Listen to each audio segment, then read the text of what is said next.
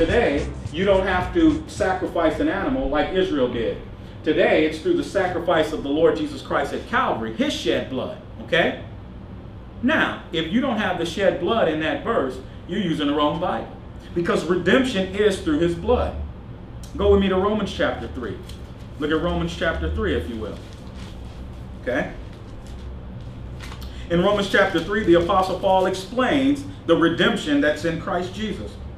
In Romans chapter 3, let's look at verse 24. Romans chapter 3, verse 24. Speaking of how all men have sinned, both Jew and Gentile have sinned, and come short of the glory of God in verse 23. Verse 24.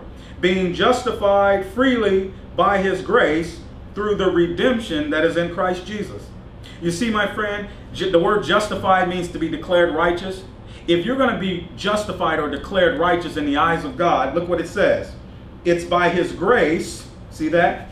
See, it's by his grace through the redemption that is in who? Christ Jesus. Verse 25. Whom God hath set forth to be a propitiation. Now, the word propitiation means a fully satisfying payment. If you have a credit card bill, I always use this example, and you have a million dollar credit card bill, but you don't have a million dollars to pay for it, if I was gracious enough to come along and give you that million dollars, we'll satisfy the payment, right? Well, my friend, when Adam sinned, the whole race sinned, and you're a sinner. And sin separates you from God because you owe him a debt. When you have a perfect righteousness like God does, God requires that of all mankind, and we don't have it. So the one who was perfect in his righteousness, his son, the Lord Jesus, took your, your he took your sin and gave you his righteousness. He, he was the propitiation. He, he fully satisfied the payment, and that's what Paul explains. Look, look at verse 25. Whom God has set forth, Romans 3.25, whom God has set forth to be a propitiation through faith in his blood. You see, my friend, there's no works there. It's, you know what faith is? Faith is the only thing you can do without doing anything. It's taking another at his word. In this instance, it's God. You know, the Bible says that if you receive the witness of men, that the witness of God is greater. You know, if you've ever believed a person, anything they've told you, I'm sure you we all have.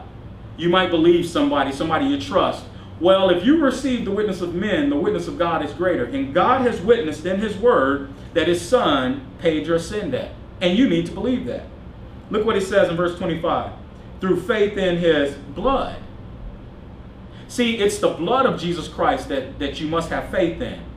It's not your works. It's not accepting Christ uh, in your heart uh, or, or invite him into your heart or, or giving your life to Jesus and all that. No, it's by believing that his blood was shed to pay for your sins. That's salvation today.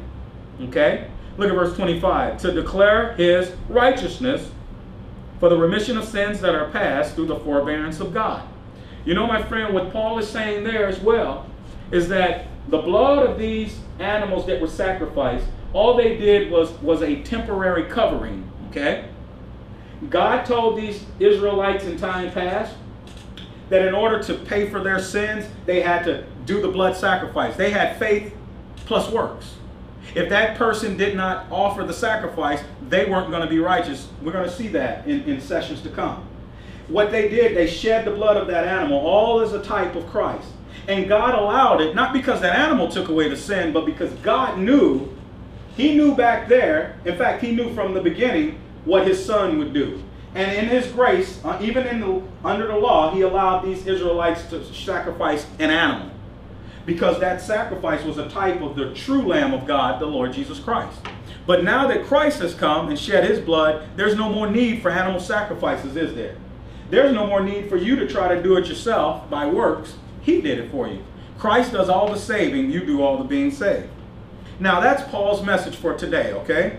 Let's look at some more verses. Go with me to the book of Acts chapter 13. Acts chapter 13. As Paul is ministering uh, early in his ministry. This has been his message from the beginning. The Apostle Paul preached a different message than Peter and the 12. The Apostle Paul preached faith in the shed blood of Christ for the remission of sins without works. Peter and those guys um, preached to Israel the earthly kingdom. that Christ is the Messiah, the Son of God, and that he, if they repented of their sin of crucifying him, and they're baptized in his name, the name of the Lord Jesus, that God would send him back and send them a kingdom. That's not Paul's message. Look what Paul says in Acts 13, verse 38 and 39. In Acts chapter 13, look at verse 38. Be it known unto you, therefore, men and brethren, that through this man is preached unto you the forgiveness of sins. And by him all that believe are justified from all things, from which ye could not be justified by the law of Moses. Now, my friend, imagine after 1500 years of being under the law, where this man starts to preach that it's not the law that's the issue with God, it's a person, and that person is his son, the Lord Jesus Christ. Look what he says. It's through this man, verse 38, that is preached unto you the forgiveness of sins. When Paul preached forgiveness, it's always in Christ. Paul never preached the way Peter and them did, that they had to, the forgiveness was, was uh, connected with the law. When Paul preached, he preached God's grace in Christ. And look at verse 39. And by him, by this man, Jesus Christ, all that believe. Now, there's no works there. It doesn't say believe and are baptized. It doesn't say believe and in Paul's day circumcised. It doesn't say believe or any works. It says believe are justified. Remember what justified means? Declared righteous. By believing on Jesus Christ that he shed his blood for you, that instant God justifies you. He declares you righteous. Isn't that a wonderful blessing? Yeah. Look, from all things, from which ye cannot be justified by the law of Moses. You see that? The law of Moses could not justify you as a person. The Ten Commandments cannot justify you. You can't keep them. Dealing with people on the Ten Commandments, the first question I ask them is, what are they? You know, I've never had a person tell me by heart what the Ten Commandments were on the spot. You know why? Even if they could, they know they're not keeping them. Have you ever told a lie? Well, that's that's you broke the commandments. And if you broke one, you broke them all. And by the way, the law of Moses was a, was a combination of over 600 commandments. I know you don't know all them, do you? Well, see, the beautiful thing about grace is you don't have to worry about all that. God has, in his son, kept all those commandments for you, and he gives you the blessing of, of, of fulfilling that law in Christ, okay? Jesus Christ is the answer. Now, go with me to the book of Acts, chapter 20. You're in Acts 13, go over to chapter 20, and let's look at verse 28.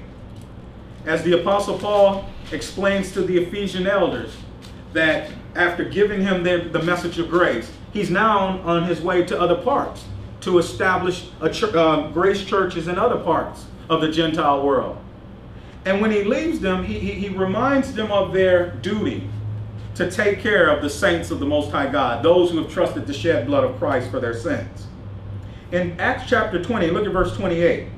Paul says, Take heed therefore unto yourselves and to all the flock over the which the Holy Ghost hath made you overseers, to feed the church of God, which he hath purchased with his own blood.